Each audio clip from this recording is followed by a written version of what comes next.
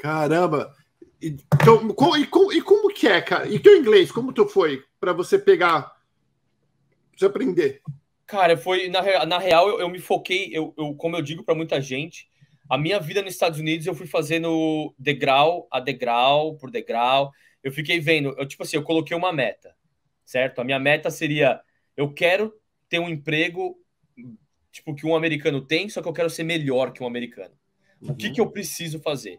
Porque eu moro na Califórnia, onde o audiovisual é o principal do mundo, né? Então, para mim poder trabalhar aqui, eu ia ter que ser melhor que muita gente.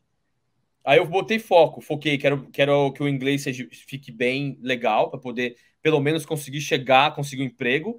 E ali eu era chegando no próximo passo, no próximo passo. Então eu tentei focar o máximo que eu podia para aprender um inglês legal, para poder, quando chegasse minha oportunidade, eu chegar numa empresa grande e foi o que aconteceu. E, e, e por eu trabalhar em pizzaria, eu falo espanhol fluente também. Uhum. Trabalhava em pizzaria, né? Não trabalho mais. Sim. E aí foi, foi o motivo que eu consegui os empregos nessas emissoras de televisão latinas, né? Por quê? Porque você fala o inglês, fala o espanhol, fala o português. E aí, cara, ali trabalhando, aí na, na, na primeira emissora eu era editor e produtor, depois eu fui, fui promovido a, a produtor, mas na, na última emissora que eu trabalhei eu já entrei como diretor e fotógrafo e editor. Então eu já dirigia muita coisa ali, eu já fazia muito projeto grande dentro da, da NBC e da Telemundo, né?